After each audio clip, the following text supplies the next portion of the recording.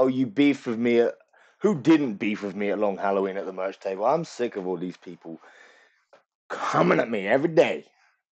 I get what it is though. I'm used to it. Um, I know what it is. It's jealousy. I've seen it before. Dealt with this my whole life. I'm no stranger to it. When you're this great, when you're this excellent, when you are the greatness, people just, you know, some people jump on board. They want to be near you. They want to feel that light. Other people, they uh, they want to tear you down. I'm used to it, bro.